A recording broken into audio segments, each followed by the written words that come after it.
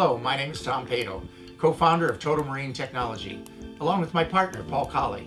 For the last 30 years, we've been building a subsea manufacturing industry here in Perth to support the oil and gas industry all through Australasia.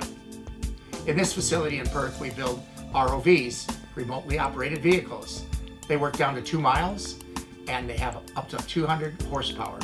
ROVs are similar to the machines you saw two miles down in the Gulf of Mexico tending to that blowout. We do the same type of work. In fact, those are competitors. And we do this work all the way as far north as Russia, Sakhalin Island, all the way down to here and into New Zealand. In our shop in Perth, Western Australia, we manufacture 90% of everything on the ROV. We support the ROVs when they're operating offshore and we manufacture new ROVs. So what I'll be doing here is taking you through the shop so you can see all these facilities and I hope you enjoy it. Thank you. Here we are in the engineering area. Mechanical engineering over here, electrical engineering over there. What I'll do is we'll take a look at electrical engineering first. Here you have the software department. A couple of the guys are gone right now, but what's happening is uh, these gentlemen here make a lot of the sensors from scratch. So we have an ultrasonic transducer here, chemical company. They go down inside tanks and they're not uh, capable of putting humans in there because of the caustic smells and that. So we've managed to put together a, a system to clean their tanks. Pretty safe. Big mechanical arms. Okay, this gentleman here is from Brazil, and he's working on a sensor. Uh, ultrasonic. What do you? Oh, he's working on the other part of Alan's. The little invention there. What we have here is the uh, mechanical engineering shop. Here's Paul, my partner. Hi, Brett guys. Manners. Brett's the uh, head of engineering here. Hello, hello. He basically starts from scratch and gets these ROVs to a point under Paul's supervision. It's a bladder. Okay, what we have here is a bladder. Uh, differential sensor. Ah, this is Lars. Lars is a Hungarian, not Hungary, but Hungarian. This is a valve for an ROV, but in Hungary it's a wolf. when we draw up the systems, they have a file, exploded diagram, and then all the drawings to build the individual component. And these individual components, when put together, have to be tested. On these shelves are all the certifications, non-destructive testing. We have to go by guidelines in the oil industry and mechanical engineering guidelines, and we follow them all.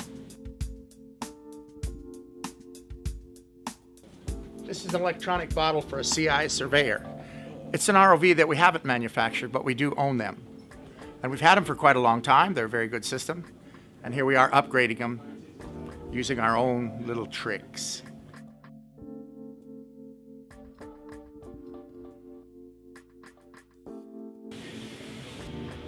And here is a uh, controller.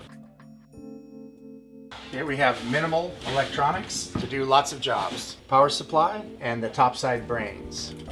Manipulators and turn lights on and various things. And then here we actually fly the ROV, just like an airplane. Down, right, left.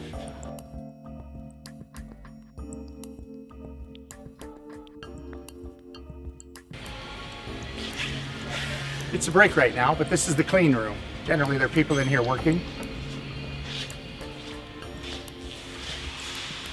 Manipulators just like this were in the Jurassic Park movie, where the fella went over the edge at the end. He had the DNA in his hand, and there was the station wagon that went into the water, and the raptor came in and killed him. Well, one of these arms was in a latex coating. What we have here is the individual component high pressure testing facility.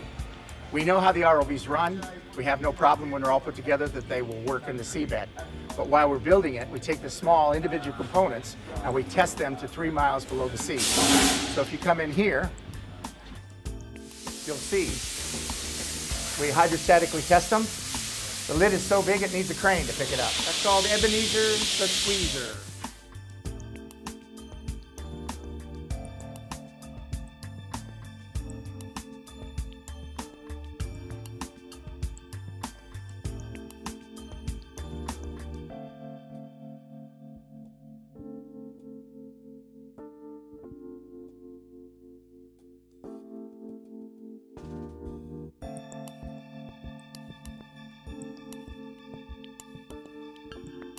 See here we have all the aluminum. Right, what we have here is our workboard. As you can see on the workboard, we have engineering, production, fabrication, machining, hydraulics, electrical, electronic, and other. Boys all get their jobs in the morning, and as they finish them, they take them off, then put them here, and it works pretty well. In here, are electronic spare parts, wires, electrical fittings that we make. That goes on the end of the ROV, and it connects all the wires together. So that's all finished. There are thousands of wires in there, and all these are pressurized for underwater. Shipping and receiving. As you see, we have a bond store. We uh, dispatch things here, we receive things here, and they're a good lot in here. They uh, ship things all around the world. They understand all about customs, in different countries. They do quite well. We need stuff yesterday, and they understand that.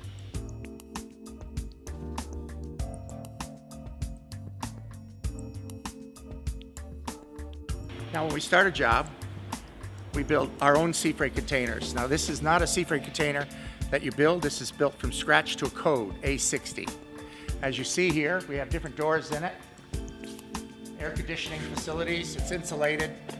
And when we go to a job, everything goes in there nicely. We get to the job, we unpack it, do the job, and put it back in there, secure it, and it goes off again to another country. So we're quite used to this for 30 years. Building things, on a time limit. Uh, we're usually going to a rig that's a million dollars a day, and they have to, we have to be there on time. And uh, we do it all the time. Get it onto the rig, set it up, and operate. Then we're finished, we pack it all back up, and we move to another country or another rig. What we have here is an x-ray machine. Something we don't do often, but we engineered this for Shell Oil and Woodside. As you can see, it's quite technical. Goes to the seabed. This is in a deployment cage, and then the ROV come up, comes up and grabs it and pulls it, flies it around the seabed and puts it onto the pipe. Then it's hooked up to the ROV and we run all the mechanisms.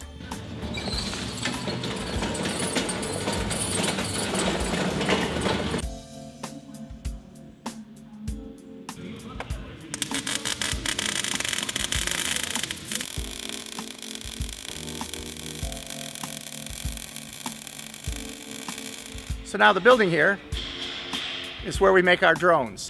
Airplanes with no people. So come on in and I'll show you. Okay, here we are in the drone factory.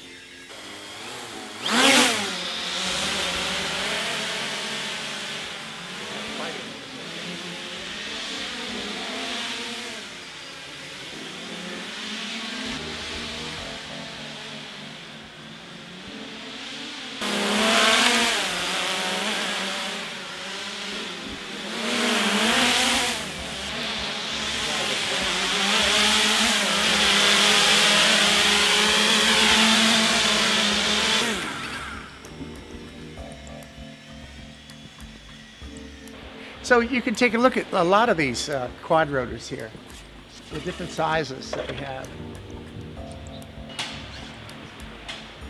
So you have a camera here and a camera here.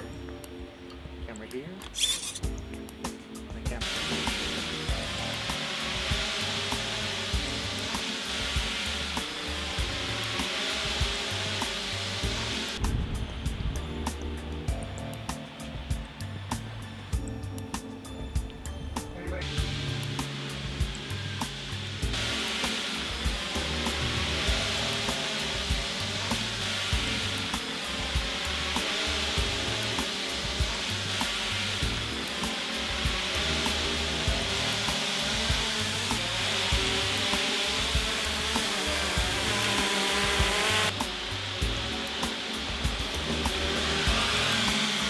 This is a one-man chopper designed to carry 250 pounds.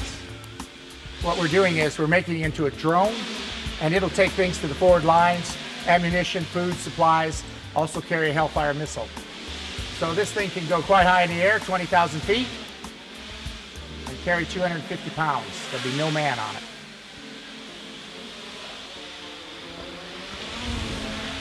And another router, 3D router there.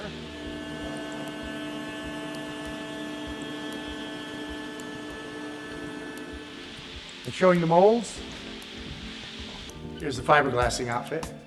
Here we make uh, positive and negative molds or male and female molds from scratch using the 3D router. We use carbon fiber, fiberglass. That's called a splat. It's a target for an F-18. Can go up to 400 knots. We're going to make them go Mach 1.1. They'll be excellent targets. They're cheap, fast. Here's some of the parts that we manufacture. Very light. All made here.